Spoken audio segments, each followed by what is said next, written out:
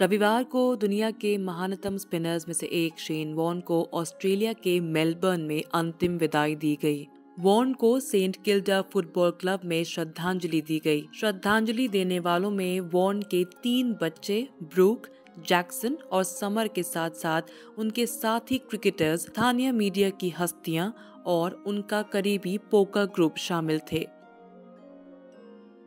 इस मौके पर ऑस्ट्रेलिया के पूर्व कप्तान Allan Border, Mark Taylor, Michael Clarke और मार्क वॉ भी शामिल थे। पूर्व दिग्गज ऑस्ट्रेलियाई गेंदबाज ग्लेन मैग्रॉ भी वॉन को श्रद्धांजलि देने पहुँचे। उनकी अंतिम विदाई में वो खुद को संभाल नहीं सके। मैग्रॉ भावुक हुए और उनकी आँख से आँसू छलक गए। ग्लेन मैग्रॉ ने कई सालों तक शेन वॉन के साथ क्रिकेट खेला है और वो उनके अच्छे दोस्त रहे। वॉन के बेटे जैक्सन और उनके परिवार के लोगों ने ताबूत उठाया। इस दौरान जैक्सन ने हाथ में गेंद ले रखी थी।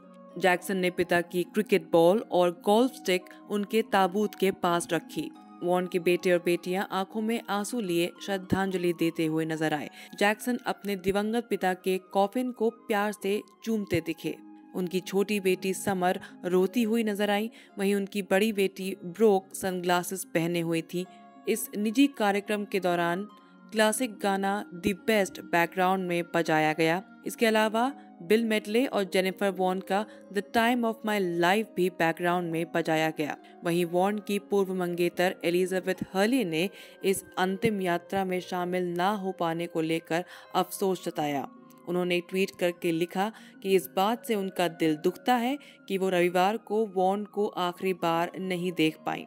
बता दें 30 मार्च को मेलबर्न क्रिकेट ग्राउंड में शेन वॉन को राजकीय सम्मान के साथ सार्वजनिक श्रद्धांजलि दी जाएगी। स्थानीय मीडिया रिपोर्ट्स के मुताबिक एमसीजी के मैदान पर लाखों की संख्या में फैंस के आने की उम्मीद है। इस मैदान में वॉन की काफ़ी यादें जुड़ी हुई हैं। मेलबर्न में ही वॉन ने 2006 में इंग्लैंड के बल्लेबाज एंड्रयू स्ट्राउस को आउट करके टेस्ट क्रिकेट में 700 विकेट पूरे किए थे।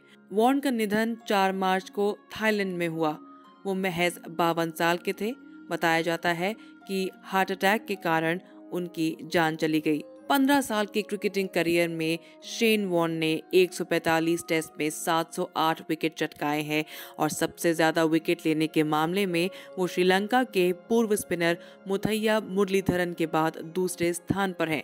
इसके अलावा वॉन के नाम एक सौ तिरानवे वनडे मैचों में दो सौ इक्यानवे विकेट भी हैं।